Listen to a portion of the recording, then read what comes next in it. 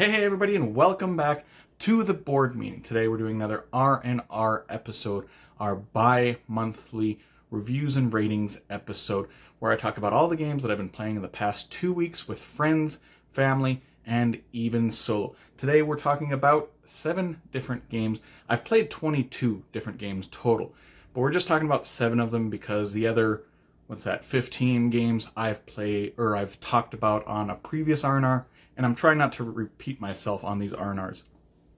I have decided that I'm probably going to be doing a monthly recap, so I talk about some of those other games that I'm not talking about. Uh, but let's go to our very first game of this week, which is Conspiracy Abyss Universe. Conspiracy Abyss Universe is the small card game version of its bigger box brother Abyss. In this game, players are building an inverted pyramid of cards made up of different colored Sea Lords that are acquired through this sort of push your luck drafting mechanic. Each of these lords are worth different points and have some ability on them. Some will have keys on them, and once a player has two or three keys, they collect a location card and place it on that last key. The locations will give players points or some kind of ability. Once a player has a complete pyramid, all other players get one more turn. I give this game an 8 rating and is an excellent implementation of the bigger game Abyss. This one gets a high recommendation from me and is a great filler option since it takes less than half an hour to play, but it is a great game. Next, let's go to Pandemic Rising Tide. Pandemic Rising Tide is, of course, part of the Pandemic series of games. In this pandemic, instead of curing viruses, though, players are trying to build four hydraulic structures that will help them push back against the ever rising tides and incoming waters. Players move around the board pumping out water, building dikes and ports, and collecting cards in order to build the four hydraulic structures to win the game. I thought this was a neat twist on the Pandemic series, and I say I would give this game a 7 rating. It's not one of my favorites in the series, but I found it still to be a good game and one that I will break out from time to time. Moving on to the next game, Takenoko. Takenoko is a cute little family weight game about growing bamboo and moving a panda around to have him eat it. On a player's turn, they roll a die, which will give them a special ability, and then they are allowed to do two different actions. You can build more lands, you can irrigate lands, move the farmer, which will grow bamboo, move the panda, which will eat the bamboo, or grab objective cards, which will make you try to either have the panda eat different kinds of bamboo, have certain types of bamboo grow so high, or have some kind of pattern built with the lands. Once a player completes so many objectives, that will trigger the endgame. The player with the most points from the objective cards wins. I will give this game a 6.5 rating that I would suggest for families. I myself was more drawn in from the cuteness of the game than the actual mechanics. Next we have Around the World in 80 Days. Around the World in 80 Days is a game that is reaching for its 20th anniversary. This is a racing game in which players will be drafting these traveling cards, which will come with some ability, and then playing cards from their hand to travel by boat or train, which will determine how fast you are traveling. The goal is to make it around the world faster than any other players. This was an okay game getting a 6 rating.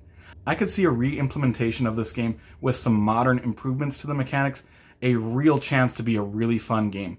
It's not horrible as it is, but I won't be reaching for it too often off the shelves. On to a new edition of a game, King of Tokyo Dark Edition. King of Tokyo Dark Edition is just a special edition of the popular family game King of Tokyo. This is a dice chucking, monster bashing, last man standing, or monster.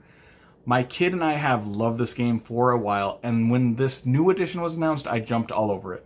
This is the same game as the original, except newer, sleeker artwork, along with a wickedness track, which will help you get some more special abilities. I give this game a 7.5 rating, which is what I rate the original game, but I will usually pull this one off the shelf instead of the regular, most of the time just because uh, I enjoy the look of this one more. Moving on to a fast-paced game now in Rush MD. Rush MD is a hospital-themed worker placement game with a real-time aspect to it. In Rush MD, players work as a team placing down these sand timers on worker placement spots to take different actions. You will have to admit patients, treat them for varying different things, run tests and diagnoses on patients, perform surgeries, and do this all in a matter of four minutes each round. And you get four rounds to try and score and complete objectives. There are also different color of sand timers which will distinguish doctors from nurses, and each of them are only allowed to go to certain spots and do those actions. This is a really fun, real-time game that gets a 7.5 rating from me, and it feels very thematic. My only complaint of the game is that the objectives of the games feel very samey, but it's still a great game nonetheless. Checking out the last game of the day, Game of Thrones Hand of the King. Game of Thrones Hand of the King is a game I have talked about a few times in some videos, even making some top 10s, but I've never done a review on it, I don't think.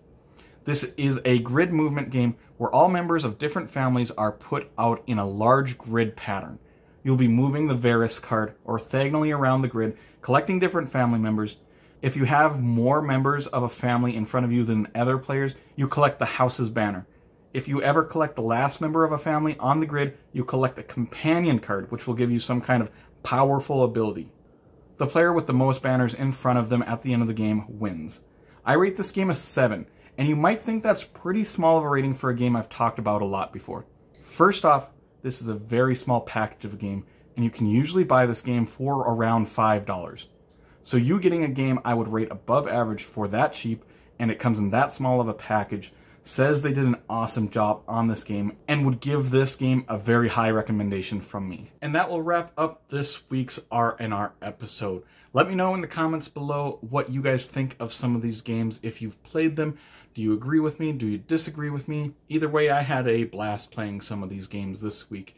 And if you did enjoy this video, make sure to like and subscribe to see more weekly content from me, Shane, at the board meeting in the future. I hope you all have an amazing day.